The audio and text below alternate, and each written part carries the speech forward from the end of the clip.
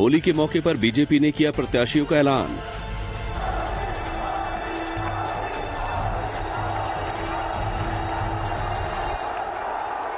बीस राज्यों से एक सौ चौरासी उम्मीदवारों की पहली लिस्ट जारी।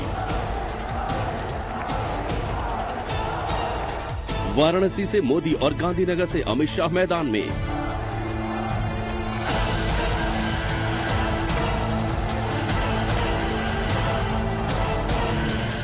बीजेपी ने लोकसभा चुनाव के लिए एक सौ चौरासी उम्मीदवारों की पहली लिस्ट जारी कर दी है। केंद्रीय मंत्री जेपी नड्डा ने उम्मीदवारों के नामों का ऐलान किया। पार्टी की मुख्य चुनाव समिति की कई बैठकों के बाद पहली लिस्ट सामने आई है। पिछले चार दिन से मैराथन बैठकों का दौर जारी था। पीएम नरेंद्र मोदी खुद मीटिंग में हिस्सा ले रहे थे। तीन दिनों की माथापच्ची के बाद उम्मीदवारों के नामों पर मोहर लग पाई। पहली लिस्ट में कई मंत्रियों और मौजूदा सांसदों के टिकट कट गए हैं तो कई चौंकाने वाले नाम भी सामने आए हैं।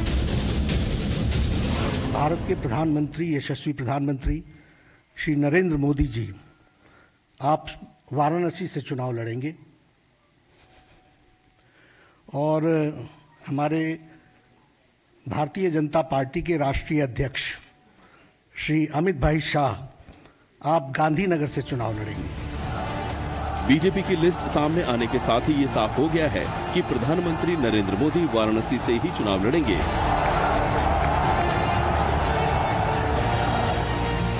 सबसे चौंकाने वाला फैसला बीजेपी के वरिष्ठ नेता लाल कृष्ण आडवाणी को लेकर है। गांधीनगर से मौजूदा सांसद आडवाणी का टिकट कट गया है।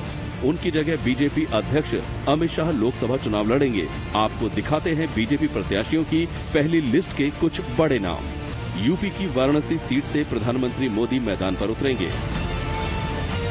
गुजरात की गांधीनगर सीट से अमित शाह किस्मत आजमाएँगे। लखनऊ सीट से गृह मंत्री राजनाथ सिंह प्रत्याशी होंगे तो नोएडा सीट से केंद्रीय मंत्री महेश शर्मा को टिकट मिला है। यूपी की बागपत सीट से डॉक्टर सत्यपाल सिंह को टिकट दिया गया है। गाजियाबाद सीट से जनरल वी के सिंह और मथुरा से मौजूदा सांसद हेमा मालिनी ही प्रत्याशी होंगी। गाजीपुर से रेल राज्य मंत्री मनोज सिन्हा, बरेली से संतोष गंगवार उन्नाव से साक्षी महाराज और जयपुर ग्रामीण सीट से राज्यवर्धन सिंह राठौर को टिकट मिला है। Uttar Pradesh, Saharanpur,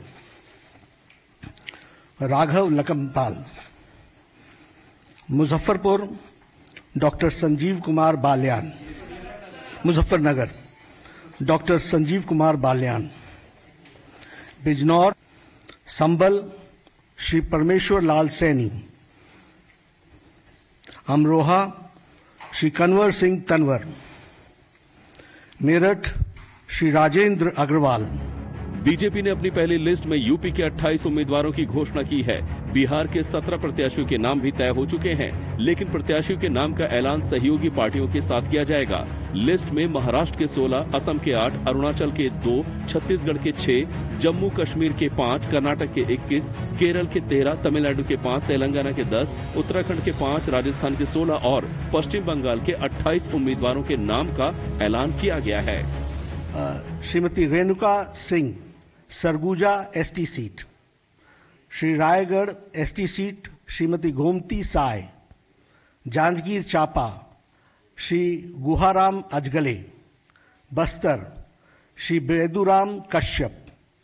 Kanker Shri Mohan Mandavi. BJP की लिस्ट में सामने आए कुछ और बड़े नामों की बात करें तो मुजफ्फरनगर से संजीव बालियान को टिकट मिला है तो अमेठी से स्मृति ईरानी एक बार फिर राहुल गांधी के खिलाफ मैदान पर उतरेंगी।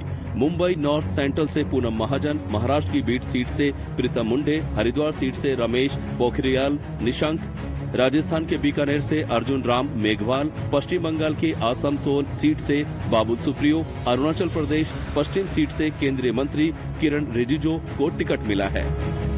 सात चरण में होने वाले लोकसभा चुनाव 11 अप्रैल से शुरू होंगे और 19 मई तक चलेंगे।